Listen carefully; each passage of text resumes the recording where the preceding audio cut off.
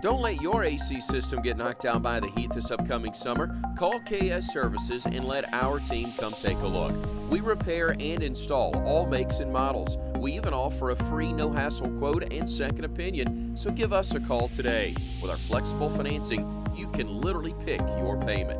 We may even be able to help you knock down that utility bill a bit.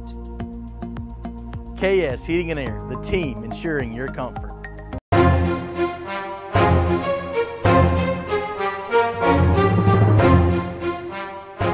Here's a look at your Alabama weather for this Weather Xtreme video on July 7th, Saturday. Satellite image shows we have a good deal of clouds left over from all the showers and thunderstorms that occurred yesterday. Clouds are a good thing, they help to keep the temperatures down. The uh, front has, uh, if you define it by the wind shift, has moved into the southern part of Alabama. However, you have to go all the way back to Kentucky to see any real serious uh, dry air. In the upper atmosphere, that uh, big ridge over the eastern part of the country has retrograded or moved westward and uh, now situated basically along the eastern slopes of the Rockies. Temperatures this morning generally in the lower 70s. We've got a few spots like Fort Payne coming at 68. Radar is relatively clear. We do have a few showers uh, showing up there in the northwest part of Alabama, uh, some leftover precipitation. Watch warning map is um, a bit uh, less cluttered. We do have some heat advisories across the Dakotas. You see the red off the North Carolina coast. That's for that tropical depression 3 that could become Chris. And then over the southwestern U.S., we have uh, high fire danger and uh, low humidities. The QPF for the next uh, five days through Thursday morning indicates on the order of one to two inches, and that sounds pretty good. Not everybody will get the one to two inches. I know yesterday we had flash flooding in Tuscaloosa, but I only got 19 hundredths at my house. Just got missed by some of the showers that came very close.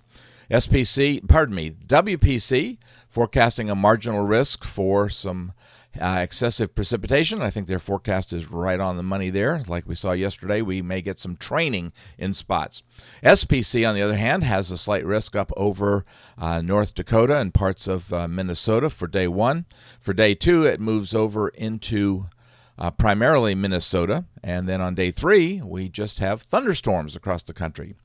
And the tropical Atlantic has become quite busy. We have Beryl, and she's just plain uh, def- uh, defying forecasters.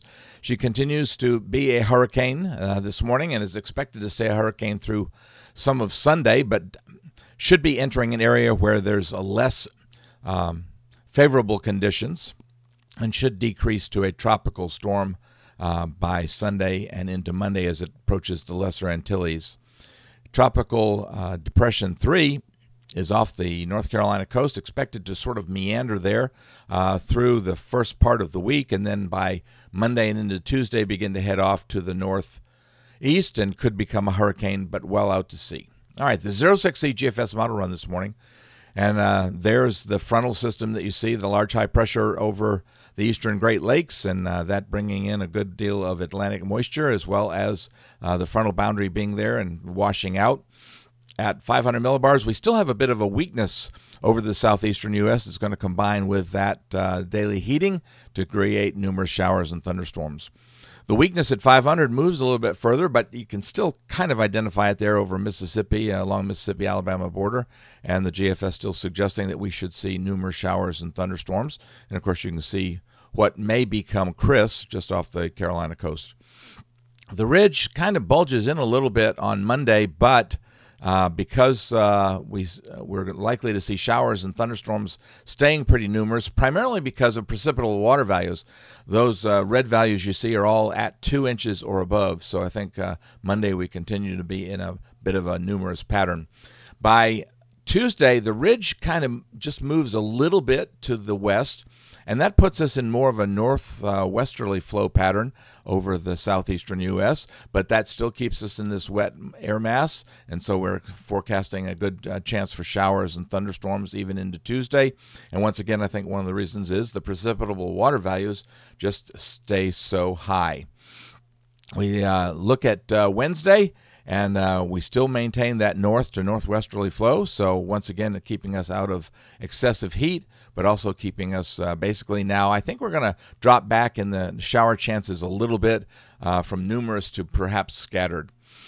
Looking at Thursday, uh, we still see this northerly flow, so uh, not much change below that, and the northerly flow and northwesterly flow continues on Friday.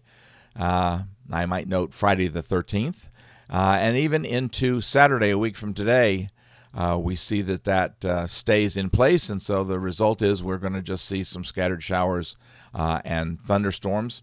And I will note that by Friday, though, we note that uh, there may be a little bit of a drop in showers uh, because you notice on the precipitable water map for Friday uh, that uh, we see some drier air uh, thanks to that northerly flow pushing the more um, humid air mass uh, down along the Gulf Coast and out into the Gulf. So we'll see if that comes about. Looking out into voodoo country, and uh, we see that uh, that kind of uh, troughiness over the eastern U.S., over the East Coast, stays with us Monday, July 16th. But we see that the 594 contour uh, basically bulges in across the eastern half of the country on Wednesday. That's uh, July 18th. And it stays there through July 20th and again through July 22nd. So the GFS is being very bullish on the idea of mid to late July seeing some heat. That'll do it for the Weather Xtreme video for this morning. I expect to have the next one posted first thing on Sunday morning by around 7 a.m. or so. Have a great day. Respect the lightning, please. We've had, uh, I think it's a, a dozen lightning fatalities in the United States so far this year. I'm meteorologist Brian Peters. Have a great day. Godspeed. Summer's just around the corner, and KS Services wants to be the team ensuring your comfort. We repair and install all makes and models, so give us a call today to get a free, no hassle second opinion. KS Heating and Air, the team ensuring your comfort.